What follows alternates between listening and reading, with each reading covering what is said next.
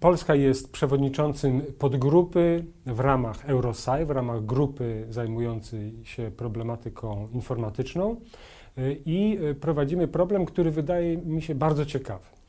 Najczęściej tego rodzaju zespoły w ramach czy Eurosaju, czy Intosaju zajmują się albo prowadzeniem równoległych kontroli, albo opracowaniem jakichś dokumentów, ewentualnie opracowaniem jakichś przewodników, standardów. My natomiast próbujemy razem zbudować e, użyteczne dla audytorów narzędzie. Этот проект очень интересен тем, что он создает некую базу знаний. Jest to tak naprawdę baza danych, która pozwala połączyć wiedzę audytorów z różnych krajów na podstawie jednej metodologii. Projekt przeznaczony jest więc przede wszystkim dla osób, które prowadzą działalność kontrolną. Ich praca będzie łatwiejsza, bo uzyskają dostęp do informacji, do wskazówek, do metod prowadzenia audytów poprzez bazę, która połączy wiedzę pochodzącą od audytorów z różnych państw. Mnóstwo inspektorów różnych stron. To jest projekt dość nowatorski, ponieważ y, w zarządzaniu wiedzą nie mamy tak naprawdę wielu y, rozwiązań, gotowych rozwiązań sieciowych. Przeglądając różne narzędzia, przekonaliśmy się, że właściwie musimy sami tutaj dość mocno pomyśleć, żeby znaleźć takie rozwiązania, które pomogą nam skutecznie dzielić się wiedzą.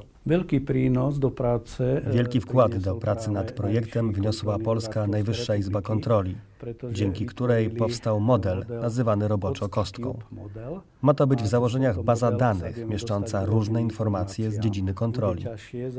Teraz chodzi o to, żeby ten model sprowadzić do praktyki, żeby wszystkie organy kontroli skupione w Eurosai wypełniły tę bazę swoimi informacjami, ustaleniami i raportami. I żeby dzięki formatowi XML lub innemu przystępnemu formatowi można było te dane analizować i wykorzystywać. Analizowani albo w formacie aj prístupný verejnosti. W tak podstawowej dziedzinie jak bezpieczeństwo systemów informatycznych, kraje uczestniczące w tej podgrupie y, publikowały raporty, nie wiedząc o sobie nawzajem.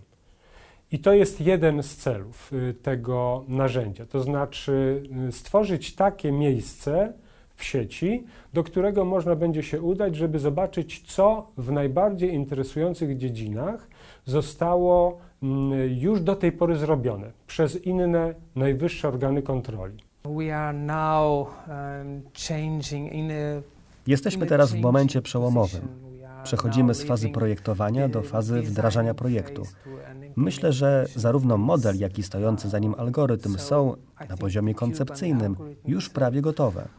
Pracujemy równolegle nad stworzeniem pewnych usług sieciowych, które odpowiadałyby naszemu algorytmowi. Myślę, że, że, że to bardzo dobrze, że Najwyższa Izba Kontroli, instytucja o odpowiednim potencjale, y, wzięła y, udział w tym projekcie, no wręcz kieruje nim.